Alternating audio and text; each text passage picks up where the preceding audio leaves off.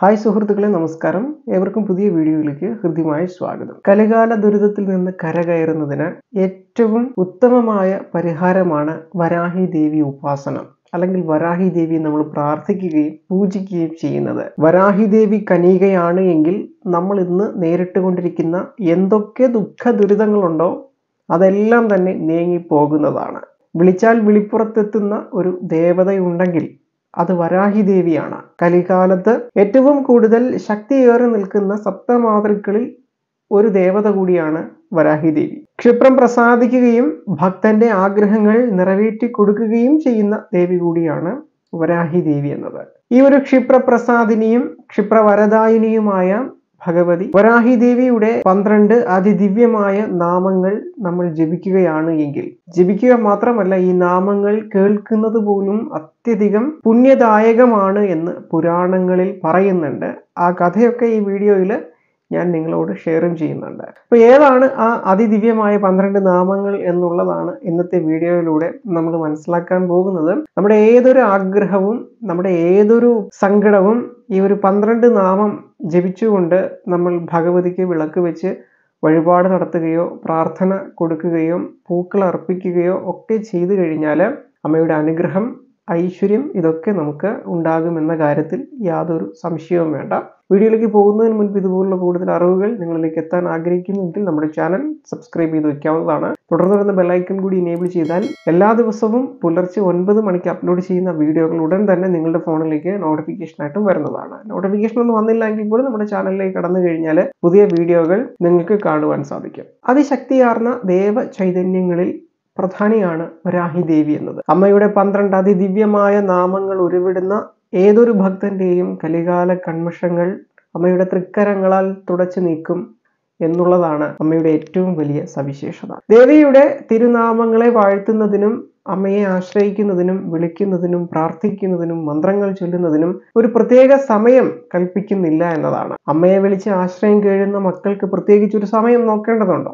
പൊതുവിൽ വരാഹി ദേവിക്ക് രാത്രികാലങ്ങളിൽ ശക്തി വർദ്ധിക്കും എന്ന് പറയുന്നുണ്ട് എങ്കിൽ പോലും ഈ പന്ത്രണ്ട് നാമങ്ങൾ നിങ്ങൾക്ക് ഏതൊരു സമയത്തും ജപിക്കാവുന്നതാണ്. അതിന് സമയ കാല ദേശഭേദങ്ങളൊന്നും തന്നെ പരിഗണിക്കേണ്ടതില്ല.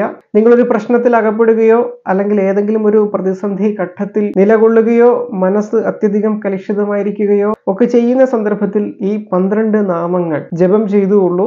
തീർച്ചയായും അമ്മയുടെ ആ ഒരു പ്രത്യക്ഷമായ അനുഗ്രഹം തന്നെ നിങ്ങൾക്ക് അനുഭവിച്ചറിയുവാൻ സാധിക്കുമെന്നതാണ്. അപ്പോൾ ഒരു അപകട ഘട്ടത്തിൽ നിങ്ങൾ അകപ്പെടുകയാണ് ഒരു പ്രതിസന്ധി ഘട്ടത്തിൽ നിങ്ങൾ അകപ്പെടുകയാണ്. അല്ലെങ്കിൽ ഒരു ആശയക്കുഴപ്പം നിങ്ങളെ ബാധിച്ചിരിക്കുകയാണ്. കൃത്യമായിട്ടൊരു തീരുമാനം എടുക്കാൻ കഴിയുന്നില്ല. ധനപരമായിക്കോട്ടെ ഏത് രീതിയിലുള്ള പ്രശ്നമാണോ നിങ്ങളെ ബാധിച്ചിട്ടുള്ളത് ഈ പന്ത്രണ്ട് നാമങ്ങൾ വിശ്വാസത്തോടു കൂടി അതായത് അമ്മ നിങ്ങൾക്ക് അനുഗ്രഹം നൽകും എന്ന ആ ഒരു വിശ്വാസം മനസ്സിൽ നിലനിർത്തിക്കൊണ്ട് നിങ്ങൾ ജപം ചെയ്യുമെങ്കിൽ ഏതെങ്കിലും ഒരു രൂപത്തിൽ ഉടനടി നിങ്ങൾക്ക് പരിഹാരം ലഭിക്കും എന്ന കാര്യത്തിൽ യാതൊരു സംശയവും വേണ്ട. ഈ ഒരു മന്ത്രത്തിന്റെ അല്ലെങ്കിൽ ഈ നാമങ്ങളുടെ ആ ഒരു ഉൽപ്പത്തിയെക്കുറിച്ച് പുരാണങ്ങളിൽ പ്രതിപാദിക്കുന്നത് ഇപ്രകാരമാണ്. അസുര നിഗ്രഹത്തിനു ശേഷം വരാഹി ദേവി കോപാകുലയായി നിൽക്കുന്ന സന്ദർഭത്തിൽ പല കാര്യങ്ങൾ ചെയ്തിട്ടും അല്ലെങ്കിൽ പല ഉപായങ്ങൾ ചെയ്തിട്ടും ദേവിയുടെ ആ ഒരു കലി അടങ്ങാതെ വന്ന സന്ദർഭത്തിൽ ദേവകൾ ദേവിയുടെ ഈ ഒരു പന്ത്രണ്ട് നാമങ്ങൾ വാഴ്ത്തി പാടിയെന്നാണ് അത് കേട്ടയുടൻ ദേവിയുടെ ആ ഒരു മാതൃത്വ ഭാവം തിരികെ വരികയും ഒരു കോപം ശമിക്കുകയും ചെയ്തു എന്നുള്ളതാണ്. അപ്പൊ ഇത് കണ്ടുവരികയായിരുന്ന അഗസ്ത്യ മുനി പന്ത്രണ്ട് നാമങ്ങൾ എന്തൊക്കെയാണ് എന്ന് ദേവന്മാരോട് ആരായുന്നുണ്ട്. പക്ഷെ ദേവന്മാർ പറഞ്ഞത് അങ്ങ് നമ്മൾ ജപിക്കുന്ന ഈ ഒരു മന്ത്രം കേട്ടാൽ പോലും അങ്ങക്ക് ഇത് മനസ്സിലാകുന്നതാണ് മാത്രവുമല്ല ഈ ഒരു മന്ത്രം മറ്റൊരാൾ ജപിക്കുന്നത് നമ്മൾ കേട്ടാൽ പോലും അത് നമുക്ക് ഏറ്റവും ഐശ്വര്യത്തെ നമുക്ക് പ്രദാനം ചെയ്യും എന്നുള്ളതാണ് അപ്പൊ ഈ ഒരു പന്ത്രണ്ട് നാമങ്ങൾ ആരെങ്കിലും ജപിക്കുന്നത് അല്ലെങ്കിൽ പറയുന്നത് പാടുന്നത് ആലപിക്കുന്നത് വായിക്കുന്നത് കേൾക്കുകയാണ് എങ്കിൽ പോലും അത് അത്യധികം ശ്രേഷ്ഠമാണ്. നമ്മുടെ ആഗ്രഹങ്ങൾ നമ്മുടെ ദോഷങ്ങൾ നമ്മളെ ബാധിച്ചിട്ടുള്ള എന്ത് തരത്തിലുള്ള ദോഷവും കൺദൃഷ്ടി ദോഷമായിക്കോട്ടെ നാവേറ് ദോഷമായിക്കോട്ടെ മറ്റുള്ളവരുടെ പ്രാക്തി ദോഷമായിക്കോട്ടെ അല്ലെങ്കിൽ ബാധാദോഷമായിക്കോട്ടെ എല്ലാം നമ്മിൽ നിന്ന് ഓടി മറയുന്നതാണ് നമുക്ക് സർവൈശ്വര്യങ്ങളും കൈവരുന്നതാണ്. അപ്പൊ ആ ഒരു പന്ത്രണ്ട് നാമം എന്നുള്ളത് ഇപ്രകാരമാണ്. ഓം പഞ്ചമി നമ ഓം ദണ്ഡനാദേ നമ ഓം സങ്കേതായേ നമ ഓം സമയേശ്വരിയേ നമ ഓം സമയ സങ്കേതേ നമ ഓം വരാഹി നമ ഓം പോത്രിണീ നമ ഓം ഭക്തവരാഹി നമ ഓം വാർത്താളി നമ ഓം മഹാസേന നമ ഓം അഗ്നചക്രേശ്വരിയൈ നമ ഓം അരിഗ്നി നമ. ഇതാണ് വരാഹിദേവിയുടെ പന്ത്രണ്ട് അതിദിവ്യമായ ശ്രേഷ്ഠമായ നാമമന്ത്രങ്ങൾ.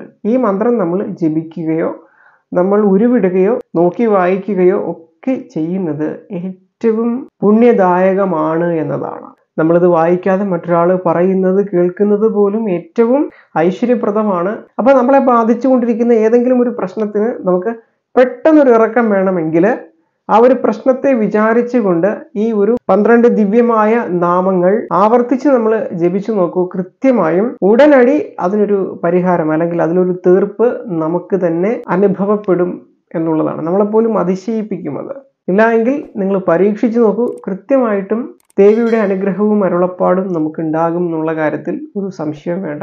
ഇന്നത്തെ വീഡിയോയിൽ നമ്മൾ വരാഹി ദേവിയുടെ അതിദിവ്യമായ പന്ത്രണ്ട് നാമങ്ങളെ പറ്റിയാണ് മനസ്സിലാക്കിയത്. അടുത്ത വീഡിയോയിൽ പുതിയ ഒരു അറിവുമായി കണ്ടുമുട്ട എല്ലാവർക്കും നന്ദി.